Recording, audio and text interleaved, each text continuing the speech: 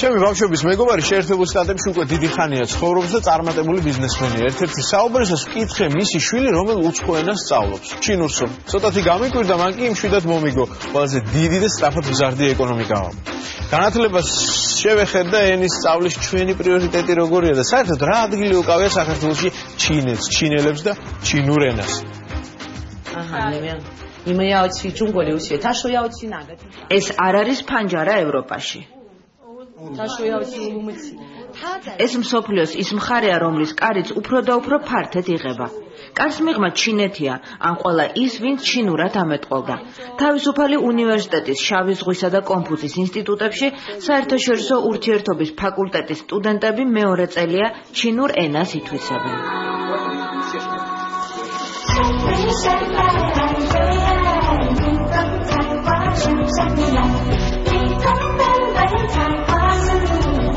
თავად ჩინეთში ყველაფერი უფრო ჩქარა ვითარდება.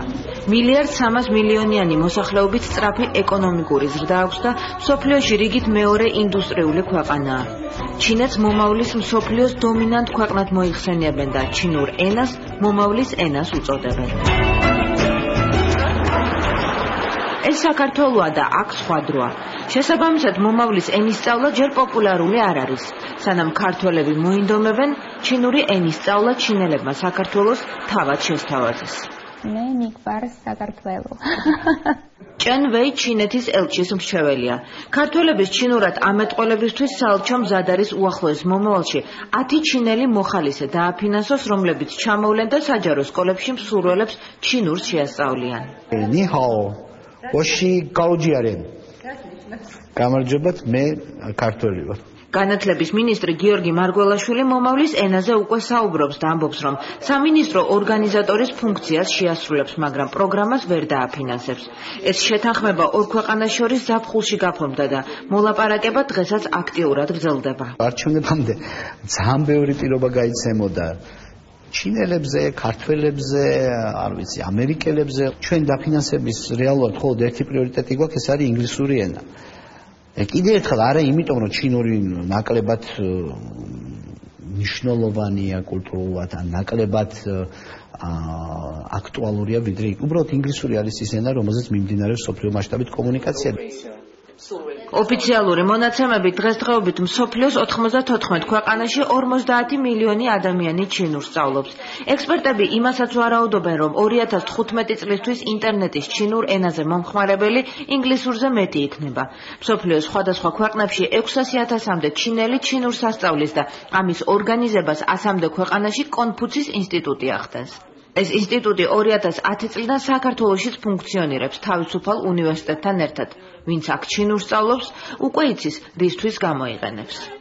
ფაკულტეტზე ვარ 2014 კაცი და ასე რჩევდა 7 ენა, აქედან მარტო 20-მა თუ 19-მა ერთია ჩინური. რომ ვითარდება და ვითარდება და ამიტომაც მე ვქცევი რომ ეს არის ყველაზე დიდი პერსპექტივა რაც ჩვენ შეიძლება ამ უნივერსიტეტში გქონდეს. შორეულ აღმოსავლური ენა როგორც ჩინურია, რა თქმა უნდა, ის დიდი ბენეფიტია და ერთი საფეხურით მაღლა და ერთ-ერთი მთავარი მიზეზი ჩემთვის ესეც იყო რომ კულტურა ძალიან მაინტერესებს ჩინური კულტურა და მათ აქვს საშუალება დიპლომატებად იმუშაონ საელჩოებში, ასევე თარჯიმნებად ჩინეთის საელჩოში საქართველოში ან ჩინეთის საელჩოს სავაჭრო წარმომადგენლობაში. სწრაფად განვითარებადი ჩინეთი დასაქმების უამრავ პერსპექტივას იძლევა. თუმცა სტუდენტების აზრით ენას სირთულის გამო ბევრი დრო სჭირდება და სკოლის მოსწავლეებს მისი სწავლა გაუძნელდებათ. ამიტომ სკოლაში მისი სრულფასოვნად შესწავლა შეუძლებელი იქნება. ელჩის მრჩეველი ამბობს, რომ მოხალისე მასწავლებლები ჩინეთში სპეციალურ გადამზადებას გაივლიან და საქართველოში მხოლოდ მას შემდეგ ჩამოვლენ. ჩინური მხარე მზად არის გამოყოს თანხები იმისთვის, რომ ქართველებმა ჩინური ისწავლონ. ამჟამად არის ტენდენცია, რომ ყველა მიცის ინგლისური, მაგრამ მეორე ენა ჩინურს ირჩევს. რაც უფრო მეტი ისწავლის ჩინურს, დამიჯერეთ მომავალში ის უფრო მეტად წარმატებული იქნება. მოკლედ საქართველო ამ სოფლიო ტენდენციას რომ აყვეს, ჯერ 10 ჩინელი უნდა ჩამოვიდეს. წინასწარი განწყობა ასეთია. რო იყო შესაძლოა ასწავლიდი. რაც მეტი ენა ეცოდინება უკეთესია და ჩინური საინტერესო ენაა. რაც ასეთივე ჩინელები საქართველოს რუსულმა ისალდა. საერთოდ ჩინი მოს არა არა.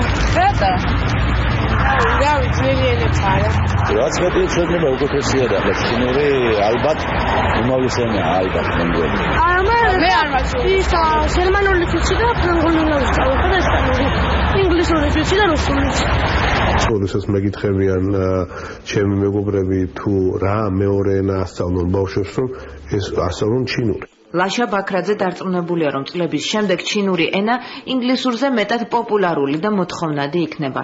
ასეთ ადამიანებს მომავალში სამუშაო ადგილის შოვნა არ გაუჭირდებათ. ინგლისური მასალების რაღაცა გარკვეული ნაწილი საზოგადოების ძალიან ტრულად შეხვდა და რა საჭიროა რომ ინგლისელები ჩამოვიდნენ, ახლა ალბათ იგივე სიტყვა რასაკვირველია ჩინელები რასაჭიროა ჩამოვიდნენ? მით უმეტეს რომ სადღაც ქართველების მე ვიტყოდი გარკვეულწილად რასისტული დამოკიდებულებაც არის ამაში. ის ჩინელი რომელიც პირველად გავიცანით აქ აუქვეყანაში რაც დამოკიდებლები ვართ ეს იყო ყველაზე ღარიბი ნაწილი ჩინეთისა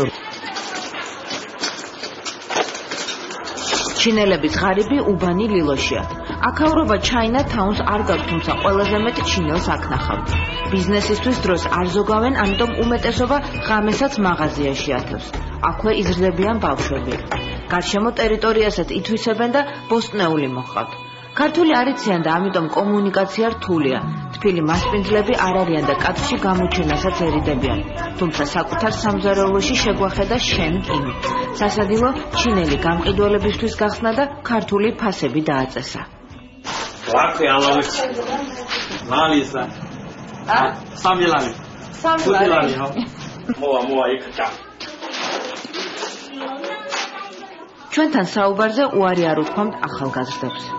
ახლა მომეწონა და იმილო მოდის. გაია მაგარია. ო ზუსტი მონაცემი არ არსებობს რამდენი ჩინელი ცხოვრობს დღეს საქართველოში, თუმცა შემორჩა ეს ფოტო. ეს ლაო ჯონჯაოა, პირველი ჩინელი საქართველოში. ფოტო გადაღებულია ჩაქვში. ქართველებმა მაშინ ჩინური ენა თუ არა, ჩაის მოყვანა ისწავლეს. ლაო ჯონჯაოს დამსახურებით.